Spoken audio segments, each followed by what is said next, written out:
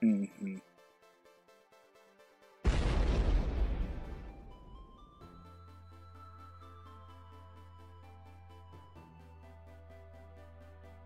Was zuletzt geschah. Ein bedeutender Tag war gekommen. Der Kampf gegen einen General stand an. Kyurem, das Eisdrachen-Pokémon. Doch zuvor wollte Günther sich noch das seltsame Labor ansehen. Dort wurde das erste Pokémon, das diese Welt erreichte, festgehalten. Dort traf er auch auf Snens, der eine Revanche wollte. Er war deutlich besser geworden, rechnete jedoch nicht mit Eevee und verlor daher. Anschließend traf Günther sich mit Leon. Zu zweit machten sie sich auf, um den General zu bekämpfen. Und der Kampf begann gut. Waldbrand, ein besonderes Myrapla mit dem Feuertypen, welches für Leon kämpfte, und Lord Ecke machten Kyurem große Probleme. Als Günther aus einer Reaktion eine Aquaknarre schoss und Kyurem damit ablenkte, gab Waldbrand ihm den Rest. Günther hatte nun ein Emblem. Der zweite General war besiegt. Kapitel 21 Von Wahnsinn gesteuert. General Kyurem war besiegt. Für diesen Tag trennten ich und Leon unsere Wege. Das war erste Sahne. Zu zweit war das ja nicht mal schwer. Ja, das stimmt. Er sah mir meine Nachdenklichkeit an. Du denkst über diese Aquaknarre nach, oder? Meine Antwort war ein kurzes Nicken. Latios versuchte, sich eine Erklärung zusammenzureimen. Es muss damit zusammenhängen, dass du so lange in unserer Welt warst und gerade erst in diese Welt gekommen bist. Du bist anscheinend noch nicht vollständig zum Menschen geworden, sondern hast noch minimale Elementkräfte der Pokémon. Egal warum es ist, du solltest dich freuen. Es ist eine super Fähigkeit und hat uns in diesem Kampf viel geholfen. Nur pass vielleicht auf, es nicht öffentlich zu machen. Die Leute reden genug seltsame Dinge über dich. Gut, ich werde aufpassen. Was ist der Plan für die nächsten Tage? Leon überlegte kurz. Vermutlich nicht viel mehr als trainieren. Und natürlich machen wir uns schlau. Ich habe bereits ein Gerücht bezüglich des nächsten Generals gehört. Dem werde ich nachgehen. Ich sag dir natürlich sofort Bescheid, wenn ich etwas herausfinde. Was hast du vor? Kurz überlegte ich, ob ich ihm die ganze Wahrheit über das Projekt diese Nacht sagen sollte. Doch ich entschied mich dagegen. Leon würde vielleicht versuchen, mich abzuhalten. Mir war klar, dass Vertrauen eigentlich ein wichtiger Punkt zwischen uns sein würde. Aber wenn die Mission geglückt war, würde er mich verstehen. Vermutlich auch trainieren und mich umhören. Vielleicht mache ich mich auf und befrage ein paar freundlich gesinnte Pokémon nach Hinweisen. Gute Idee. Also dann, bis bald. Wenn du mich suchst, du findest mich in der dritten Etage des großen Wohnhauses, in der Straße, in der wir uns getroffen haben. Klingeln wäre wegen meinen Eltern wohl eher unpraktisch, aber du findest schon eine Möglichkeit, dich bemerkbar zu machen. Ich verabschiedete mich und reiste mit meinen Freunden zurück zu unserer Unterkunft. Als wir dort angekommen waren, nahmen wir uns keine Zeit zum Ausruhen. Die Planung ging sofort weiter. Noch ein letztes Mal vertieften wir den Plan, der noch diese Nacht über die Bühne laufen würde. Also, jeder muss seine Rolle übernehmen. Ein letztes Mal für alle. Wir werden nicht mit vielen reisen. Semops und Latias, ihr seid neben mir die einzigen. Hydropi fragte noch einmal nach. Warum genau kommt denn eigentlich Semops mit? Als Aufpasser. Sobald irgendjemand das Gebäude betreten will, schlägt er Alarm. Aber ist ein Pokémon, das vor einem Labor wartet, nicht sehr auffällig? Deswegen ist es Semops. Chillast fasste die Wahrheit ziemlich genau zusammen. Guck dir Semops doch mal an. Dieses Pokémon wirkt nicht verdächtig. Semops könnte ein Emblem tragen und die Kräfte der Finsternis nutzen. Ihn würde trotzdem keiner verdächtigen. Semops selber zeigte sehr gut, was Cellast meinte. Er hörte uns nämlich nicht wirklich zu, sondern befasste sich intensiv mit einem Glühwürmchen, das in die Hütte geflogen war. Seemops ist so ein Extremfall, dass ich manchmal vergesse, dass er überhaupt weiß, wie man Kämpfen schreibt. Er ist perfekt für die Rolle. Um es noch einmal zu untermalen, drehte Seemops sich verwirrt zu uns. Hat jemand meinen Namen gesagt? Ich, ich bin da, ich hab zugehört. Wir alle lachten ein bisschen. Du weißt deine Rolle für heute Abend, oder? Klar, wachhalten und Alarm schlagen, wie ein echter Geheimagent. Sofort befasste er sich wieder mit dem Glühwürmchen. Hydropi wirkte nun auch sehr überzeugt. Gut, ihr habt recht, er ist perfekt für den Job. Also, weiter im Text. Latias, du kannst mich in das Gebäude teleportieren. Sie nickte nur kurz. Dort drin werde ich dann in die zweite Etage vordringen. Sobald ich das Pokémon finde, werde ich es befreien. Sobald das geschehen ist, gebe ich dir am Fenster ein Signal. Und wenn das passiert, kommst du und holst uns da raus, Latias. Klar? Wieder nickte sie. Semops war immer noch mit Wichtigerem beschäftigt. Nur wenige Stunden später brachen wir schließlich auf. Der Mond stand bereits hoch am Himmel, als wir am Forschungslabor ankamen. Keine Seele war in der gesamten Umgebung zu sehen.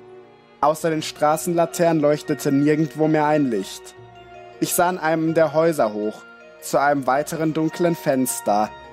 Dem Fenster, hinter dem sich Leon seiner Angabe nach aufhielt. Kurz atmete ich durch.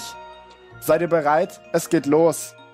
Und so begann das große Projekt zur Befreiung des ersten Pokémon der Menschenwelt. Latias schaffte es problemlos, mich in die Eingangshalle zu bringen. Es war schwer, etwas zu erkennen, doch ich erkannte bereits Kameras an den Wänden. Alles war wie vermutet. Meine Aktion würde nicht unbeobachtet bleiben. Doch es war nötig, um Darkrai zu stoppen. Wenn wir das Pokémon, welches hier wartete, auf unsere Seite ziehen könnten. So machte ich mich auf, tiefer in das Gebäude. Viele dunkle Gänge und Räume zeigten sich mir, und ich musste viele Räume betreten. Da ich bei der Inspizierung logischerweise nicht in das Innere des Labors gelangt war, wusste ich nicht, was sich hier tat und auch nicht, in welchem Raum mein Ziel warten würde. Doch auf dem Ziel, auf dem Weg, fand ich viele interessante Aufzeichnungen. 13. Januar 2022. Heute haben Passanten im Wald ein ungewöhnliches Wesen gefunden. Es wirkte sehr schwach und konnte sich nicht bewegen, jedoch hatte es eine unfassbar mächtige Ausstrahlung. Worum genau es sich handelt, ist derzeit unbekannt. Wir könnten hier einem großen Durchbruch in unserer Forschung gegenüberstehen. 16. Januar 2022. Wir konnten die Identität des Wesens bestätigen. Es klingt unfassbar, doch mein kleiner Sohn zeigte mir die Wahrheit. In dem Spiel Pokémon, welches er spielte, zeigte er mir einige der eigenartigen Fantasiewesen aus den Köpfen mancher Spieleentwickler. Zumindest dachte ich das, bis ich eines dieser Wesen erkannte. Bei unserem unbekannten Fund handelt es sich um ein Pokémon. Wir haben das erste lebende Pokémon gefunden. Eine neue Ära könnte für uns Menschen anbrechen. 24. Januar 2022.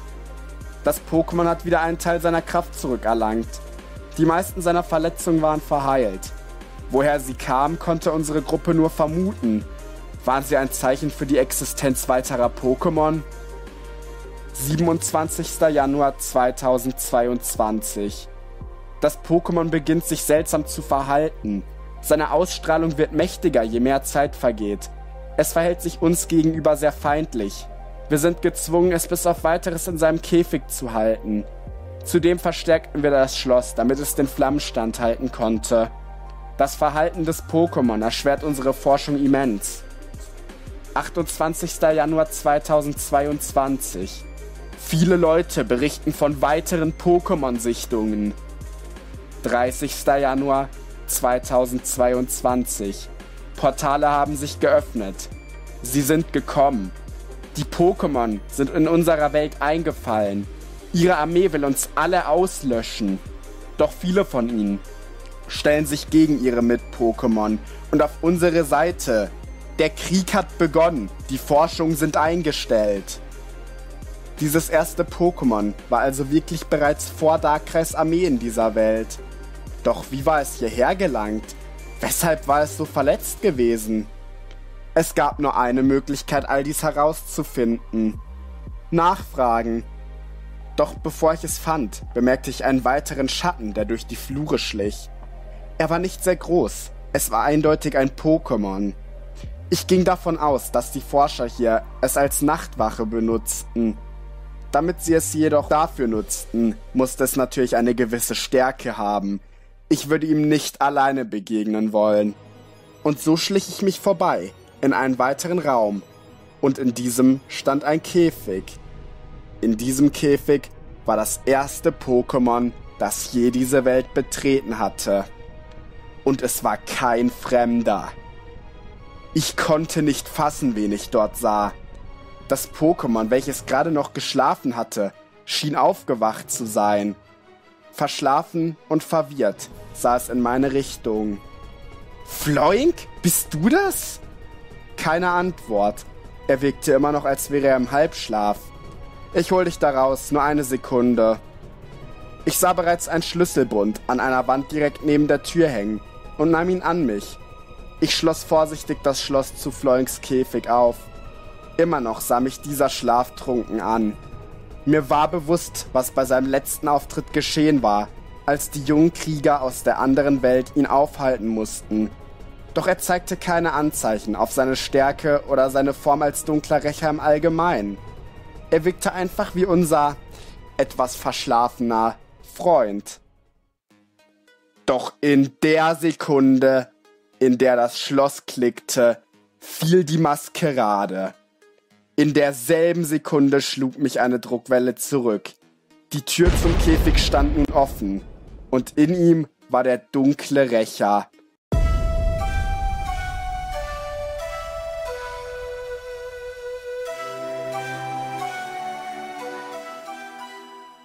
Du Idiot!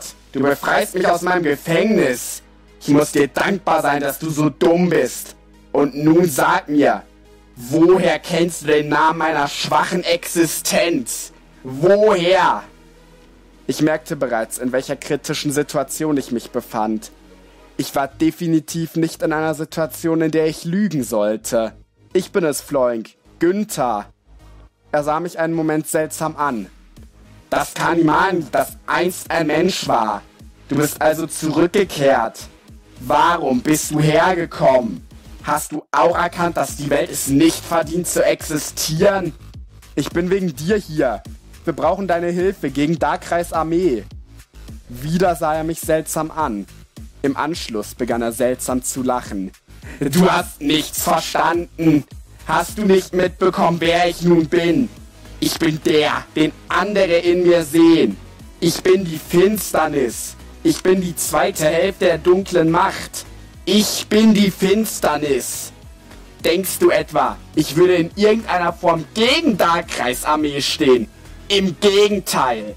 Jetzt, wo du nah mich befreit hast, kann ich mich selber in diese Schlacht einmischen. Und was dich angeht. Die Schatten, die seinen Körper übersäten, begannen zu brennen. Du stehst immer noch auf der falschen Seite. Deine Freunde sind schuld daran, dass ich verwundet und allein in dieser Welt gestrandet bin. Ihr seid eine Seuche, die ausgerottet werden muss. Doch bevor er mich angreifen konnte, vernebelte dichter Rauch den gesamten Raum. Ich fühlte, wie mich etwas wegzog. Als ich begann wieder klar zu sehen, befand ich mich in einer kleinen, fensterlosen Kammer des Labors, vermutlich im Kellergeschoss. Ein Pokémon sprach mich an, aber nicht unbedingt begeistert von meiner Anwesenheit. Was zur Hölle hast du dir gedacht? Ich wache hier Tag und Nacht, damit niemand irgendetwas anstellt. Und da passt man einmal nicht auf? Weißt du überhaupt, was du da angestellt hast? Als würdest du nicht schon genug Probleme machen. Ich bekomme hier genug über dich mit.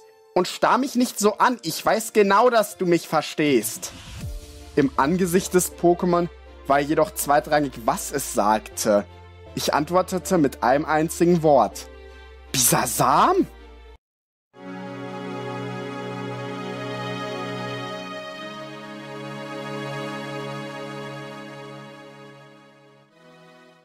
Er verstummte und sah mich verwirrt an.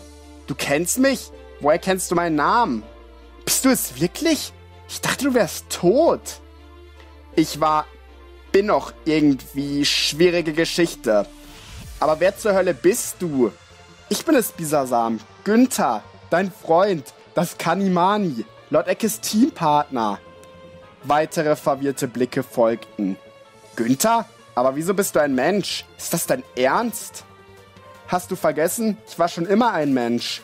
Nur, dass man es mir in dieser Welt wirklich ansieht. Bisasam wirkte etwas unsicher. Wie kann ich wissen, dass du die Wahrheit sagst?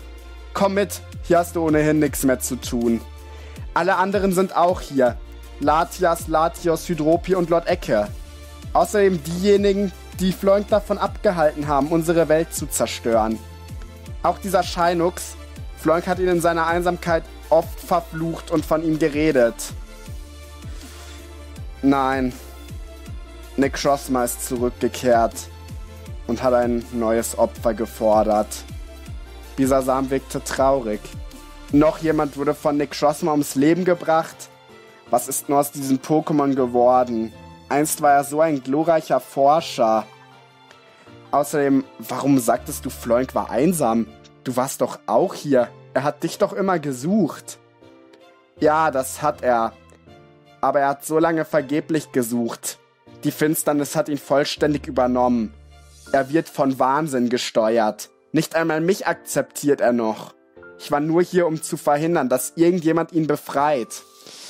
Aber das hat ja auch nicht geklappt. Nun gut, ich folge dir und vertraue darauf, dass du die Wahrheit sagst. Ich denke, wenn ja, haben wir einiges zu besprechen.